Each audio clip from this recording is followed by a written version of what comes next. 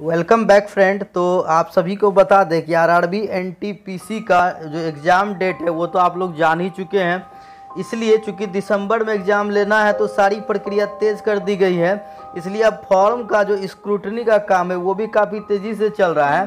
तो ऐसे में ज़रूरी है कि आप इसको ये जानना बेहद ज़रूरी है कि आपका फॉर्म फॉर्म जो है, वो रिजेक्ट हुआ है या अगर एक्सेप्ट हुआ है तो क्या है स्थिति? और अगर रिजेक्ट हुआ तो क्यों रिजेक्ट हुआ है? तो इन सब बातों को आपको जान लेना बेहद ही ज़रूरी है। ऐसा नहीं हो कि इतना दिन से एग्ज़ाम का आप इंतज़ार भी कर रहे हैं और पता चले कि फॉर्म ही रिजेक्ट हो गया। तो इसलिए इन सब चीज़ों से बचने के लिए यहाँ पर आरआरबी जो आपके रिक्रूटमेंट बोर्ड है, उन्होंने यहाँ पर डेट जारी की है। आप 21 सितंबर से लेकर आप यहाँ पर 30 सितंबर के बीच अपने फॉर्म के रिजेक्शन की जो सिचुएशन है, वो देख सकते हैं और कारण भी जान सकते हैं। तो आपको चेक करना है कि कैसे आप यहाँ पर एक्सेप्ट किया गया आपका फॉर्म या नहीं किया गया। लेकिन अब सवाल है कि हम इसको चेक कैसे करेंगे?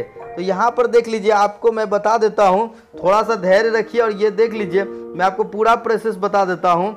आपको यहाँ पर जाकर टाइप करना है सबसे पहले R R B N T P C आपको रिजेक्शन फॉर्म। देखिए रिजेक्टेड फॉर्म जो है, यहाँ आप देख रहे होंगे, नीचे आपको नज़र आएगा R R B N T P C ये देखिए यहाँ पर रिजेक्टेड जो है, ये फॉर्म है यहाँ पर, ठीक है?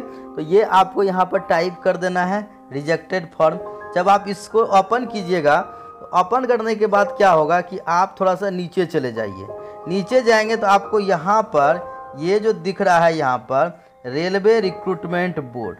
तो आप यहाँ पर जैसे ही रेलवे रिक्रूटमेंट बोर्ड को क्लिक करेंगे तो आपका यहाँ पर नया फ़ाइल खुल जाएगा। अब देखिए यहाँ पर आप देख सकते हैं कि कॉरिजेंडम जो है, आपको यहाँ पर दिख रहा है एक दो हज़ार उन्नीस।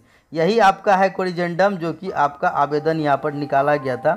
यह है कोरिजेंडम एक दो हज़ार उन्नीस एन का जो ये कोरिजेंडम है यहाँ आपका जब खुल गया तो यहाँ से आप देखिए, आपका सभी जो है, बोर्ड का नाम यहाँ पर दिया हुआ है select your R R B to print application तो चूँकि अभी यहाँ पर देखिए, ये तो मैं सिर्फ़ आपको बतला रहा हूँ कि कैसे चेक करना है लेकिन यहाँ पर क्या है कि अभी ये 21 तारीख से ये आपका एक्टिव होगा।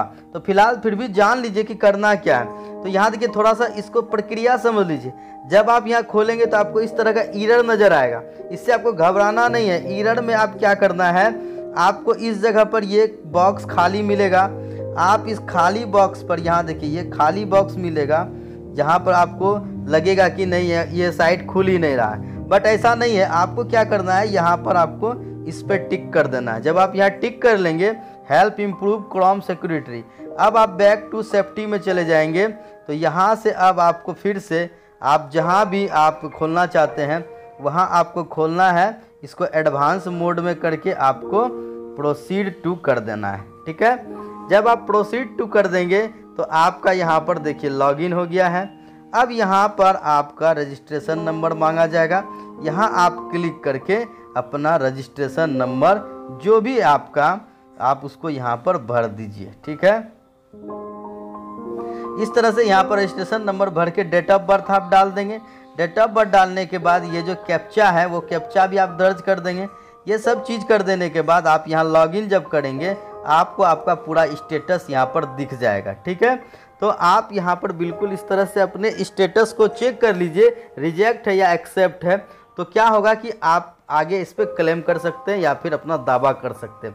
अन्यथा ऐसा ना हो कि एकाएक जब ये स्थिति आ जाए तो आप बिल्कुल मुसीबत में पड़ जाएँगे। तो कैसी लगी जानकारी, हमें कमेंट बॉक्स में ज़रूर बताइएगा। वीडियो पसंद आए तो लाइक और शेयर ज़रूर कीजिएगा। और ये काफ़ी अच्छी खबर है, यहाँ पर इस समय आप लोगों को अपना रिजेक्शन लिस्ट का नोटिस आ चुका है यहाँ पर। और देखिए, हमारे इस चैनल पर आर आर की रेगुलर लाइव क्लास चल रही है। आप शाम सात बजकर तीस मिनट पर मैथ रीजनिंग, जीके, जीएस और करंट अफेयर्स की रेगुलर क्लास कर सकते हैं। तो बिल्कुल इस क्लास में आइए और बेहतरीन तैयारी का मौका आप लोगों को मिलेगा। तो ज़रूर आइए, लाइव क्लास कीजिए हमारे चैनल पर हर दिन शाम सात बजकर तीस मिनट पर। तो मिलते हैं एक और नए इन्फॉर्मेशन के साथ, तब तक के लिए गुड बाय। जय हिंद, जय भारत।